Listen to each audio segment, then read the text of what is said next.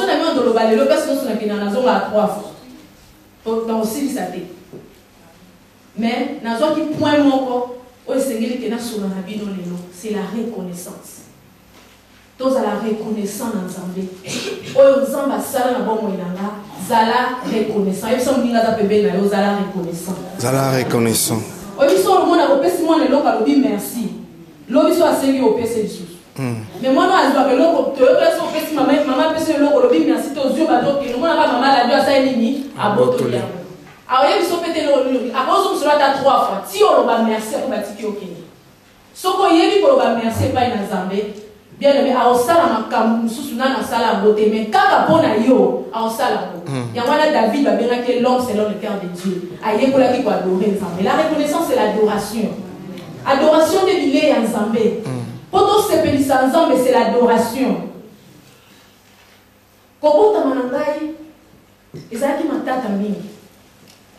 Nakobanda boye, mpo na bato nyonso bozobota bana to oza na libota moko omoni bitumba eleki mingi ntango mosusu ozoyeba te ebele bakenda na bana na bandako ya nganga bamama na biso bakoyeba mpo natelemi awa lokola mwana epai bamama bapapa mosusu natelemi awa lokola leki ya bamosusu lokola yaya ya bamosusu mpe lokola moninga ya bamosusu mpe mama ya basusu amen, amen.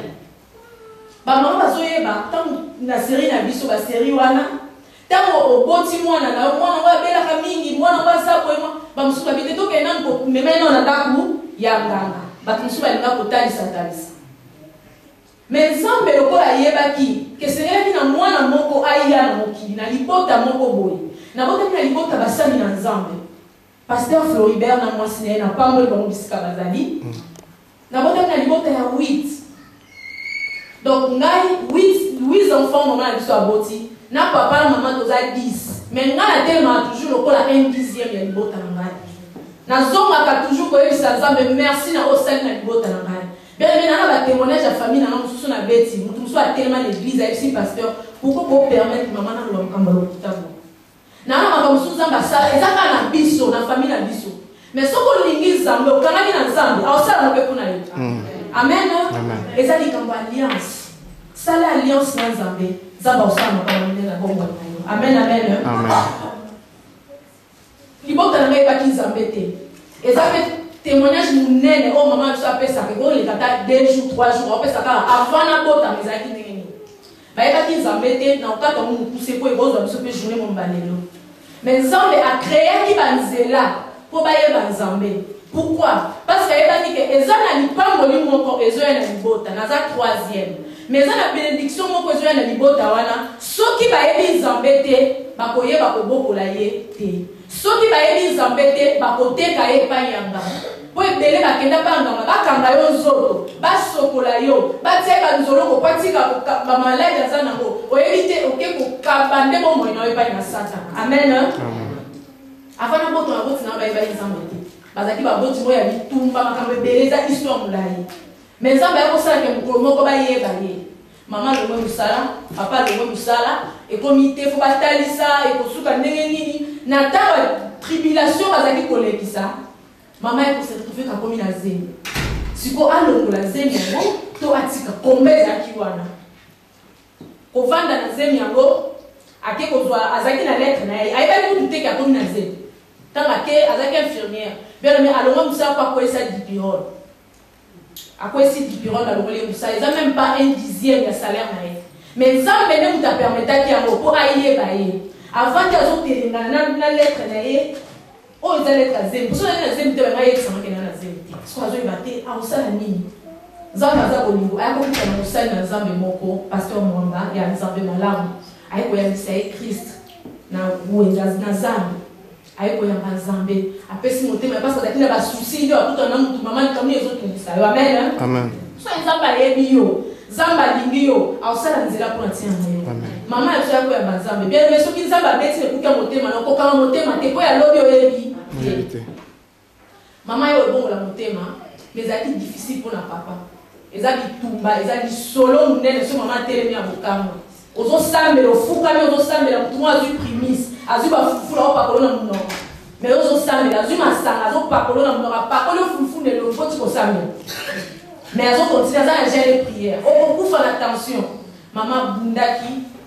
Ti nzambe moko mususu aye ko voi abandaki kobima azongi boye bato nionso basali accident na mutuka na fula fula bakufi mais ye moko abikaki soki ayebi sur place abima ayebaka te ke fenetre oyo ekobimisa moto lokola ngai abima ye moko baye kobosanaki azalaki na bandoto nzambe azalaki kotalisa ye nayebaki mpe te lokola azalaki nao na kati ya bonzambe te Alotaka ndoto moko boye bino batu bosakana na ba ndoto bosakana na ba ndoto te soki o comprendre te kuta na mosali na nzambe ayebisa yo eloko oloti eza nini babimisi ye na kati na mayi moto abimisi alobi na bimisi yo mpona eloko ozomema mpo na yo te batela yango malamu ayebaki te ntango accident wana esalami nde ye kocomprendre kazalaki na zemi babikisi ye mpo na mwana oyo ya meni belome mwana yango fala ya mpe mwana malamu aya mwana mabe aya na makambo ebele maladi ya ndenge mosusu Kokende kobotama na ye ezalaki histoire mosusu.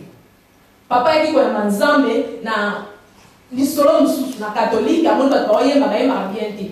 Abandi kokorige bango, kaka kokorige bango ti malai malai baye kobenda ye, baye kozwa ye mpe na eglise, akomi kotravaille, akomi berger na eglise Saint Thomas, epuis ekomi bitumba, cardinal Malula alingaki ye lisusu te, balobi azoyemba neti bato ya protestant. Ayambi Nzambe na catholique mais il chante comme le protestant. Akomo tia desordre na eglise soki azo yemba bato bazo kwela na eglise catholique baye kobengana ye. Bino moko yambisa nga Nzambe bino moko bengani ye. Mais thank God parce que Nzambe alingaki babengana ye po na kati na souffrance na ye aluka lisusu Nzambe malamu. Amen amen. amen.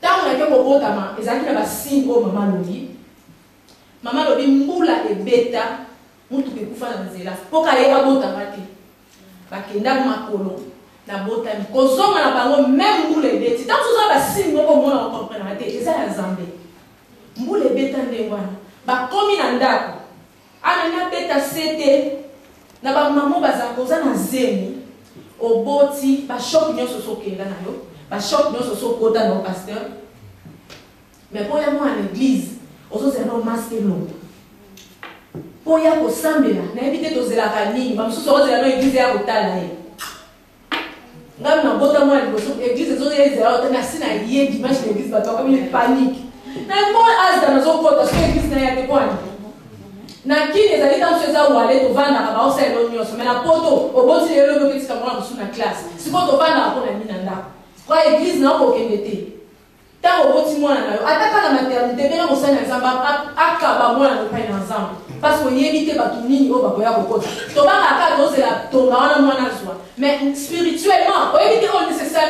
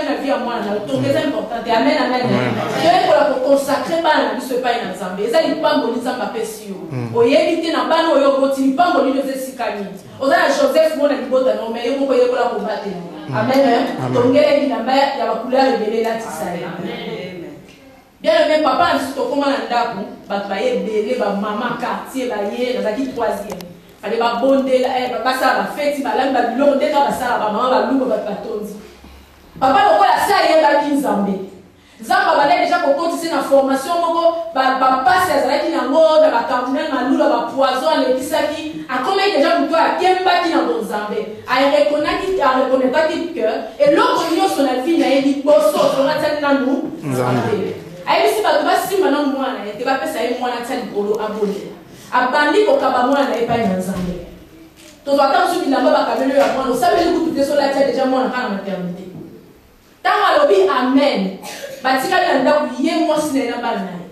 Bato nyonso na ndako balongwe. Kaka na prière. Prière oyo asali awa, ti lelo ayebaka te maloba nini aloba na losambo oyo ekimisa bato nyonso na kati ya ndako. Ayebi te eloko nini bayaki kosala. Bien-aime, pupola losambo, oyebi te oyo ozosala na monde ya pembe. Bien-aime, tokoma lobi na ngo na tongo, bapesi bango preavis, faut abima na ndako. Paul Pang alobi alingi bebe wana na ndako te. Bebe ya bato abotami asali nini? Yeba ke soki oza na etoile ya Nzambe, kanisa ntango Mose abotamaki ayebi mpo akangola libota na nzambe balobi bana libali nyonso mpo basala nini ntango yesu masiya abotami ayebi mpo na kosove humanité balobi bana libali nyonso basala nini Bien aimé kangama na Nzambe. Soki babomi ba oyo nyonso, mais ya yo aotika. Amen. Mpo na ntango mosusu mwana oyo ya yo wana, yango wana bana bato ba- bana nyonso na proidome babeba, oyebaka te. Mais oyo ya yo Nzambe akobatela. Mm. Kaka mpo na mwana no, ntango mosusu bakoboma bana mikolo, babebisi generation mobimba, le diable est capable ya kosala yango. abebisa generation mobimba mpo kaka abebisa mwana na yo mpo kaka atendre mwana na yo mais soki okangami na nzambe okonsacre mwana na yo epai na nzambe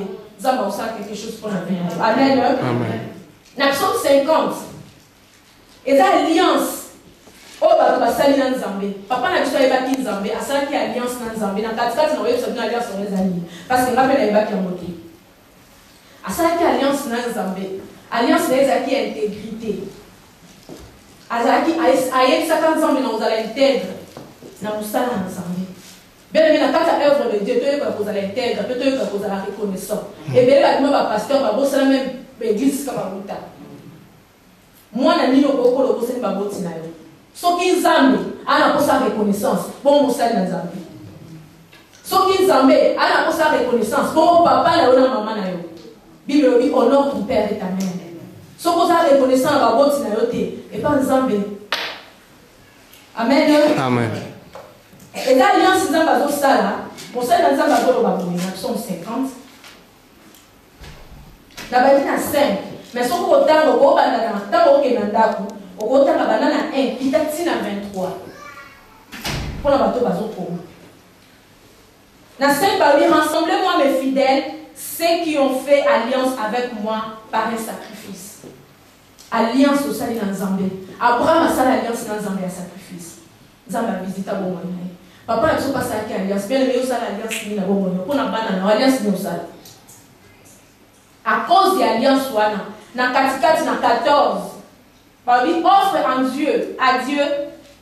ta reconnaissance et accomplis tes vœux envers le très haut fait appel à moi quand tu es dans la detresse je te délivrerai et tu m'honoreras mm.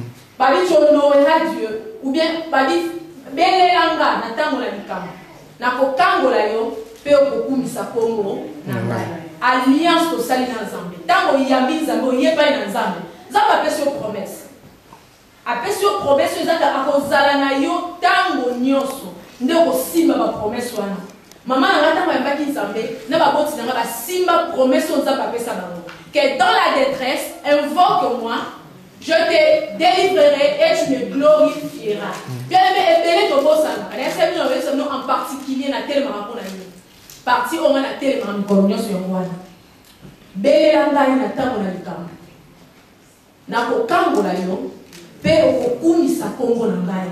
Ngai sikoyo nazongi mpo nakumisa nkombo na Nzambe. Mm. Toyekola kaka kobelela Nzambe, toyekola kaka kosengaka sengaka sengaka Nzambe. Ntango Nzambe abikisi, tokati mama, tokupe mama osinga yango, tosuki kaka wana. Ntango kaka obiki eloko banda koluka, osuki wana, ozonga mpe mpapa mosali na Nzambe oyebisa ye, tala eloko Nzambe apesaki nga, tala libondo losalaki likambo ezalaki liboye. Bien, soki ozokoba koadore Nzambe Lola ezofongola mpo na ntina na yango makambo. David kutu azalaki mobomi, mais lokola ayebaki koadore Nzambe, babengi ye l'homme selon le cœur de Dieu. Alliance wana esimba. Mpe na parti na nga mosusu nakoloba korapele bamama yeba maloba nini ozoloba likolo ya bana na yo masolo nini obetelaka bana na yo kolisa bana na yo na kati na bonzambe baboti na ngai bakolisaki ngai na kati na nzambe na kati na bonzambe ata nde obenda bango kaka na eglize wana batika bango kaka baya ezokota ezovanda mokolo ya likambo akobelelo olakisa ye te mpo amonaka nde yo osalaka mama tout le temps banda koyemba ntango nakomi na age ya 3 mois na banda kobela maladi eyebana te mama mpe abela maladi eyebanaka te Balobi sida, sida te. Ok, diable azali na posa kaka a eliminer kaka mwana wana. Po tango mosusu na tikala pe mwana oyo azangi mama. Na ba malade oyo nga na lekisi. Nayebi te mama step mother nini alukaki ko bokola mwana lokola ngai. Mais Nzambe ayebaki, a protegeaki mama na ngai pe a protegeaki ngai. Amen. Po mama oza na tina na kati na libota. Amen, amen. Mama azalaka toujours koyemba. Ata na kangami baza na nga na hopital. Na kati ya inconscience na ngai nazalaka koyoka nzembo oyo. Nzambe apesi elaka na ye na bato nyonso oyo bayambi ye, kobatelaka bango tango nyonso kino na mboka na likolo. Nazali na yo bipai binso, Irene, nakotika yo ata moke te. Nazalaki ata nazokende na kufa, Soki nayoki nzembo wana, molimo na ngai ekomi kosala effort epangusa mayi na miso na mama na ngai. Soki nayoki nzembo wana, nazo tenir, nayebi ke nzembo wana moto elamusaka ngai. Donc banda nazalaki bebe, nayoka yoka nzembo wana mingi, ata na piquer crise, soki nayoki kaka nzembo wana, nazo bundana.